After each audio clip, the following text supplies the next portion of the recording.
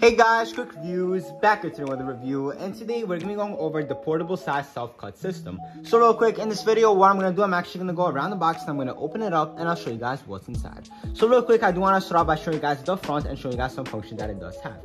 Right here, it does tell us that you can cut your hair like a pro and it has a 360 degree mirror. Right here is actually a nice demonstration of it, and it does have a 360 degree view right here. It also does tell us that it has a free app, which actually does include styles.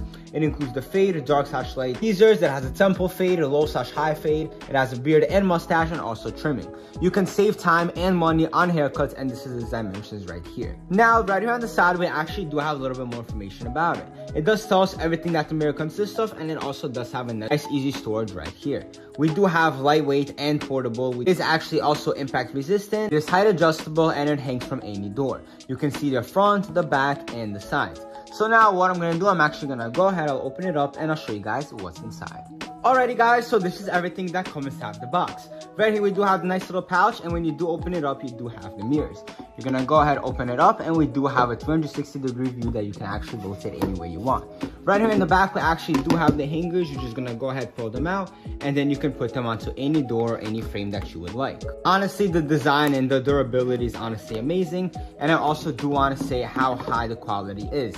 We do have very high quality mirrors and they will actually never shatter thanks to this case. Overall, it's very simple and extremely straightforward. I just want to thank you guys so much for watching today's review and I'll see you in the next one.